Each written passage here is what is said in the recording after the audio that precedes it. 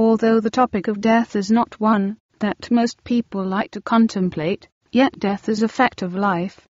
Unfortunately, because of an aversion to talking about, or even thinking about death, in some cases people neglect to consider or arrange life insurance for themselves. Surveys have shown that one in three people have no life insurance at all.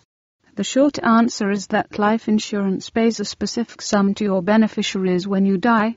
However, the details of life cover are not always that simple. There can be big differences between the kinds of cover available, as well as the cost of the premiums.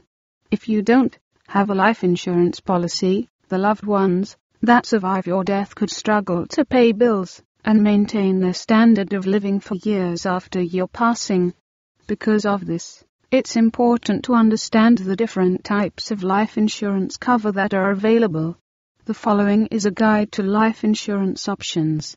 This Credit Now UK guide can help save you money too, as it will assist you in choosing the correct policy for you and your family at a fair price.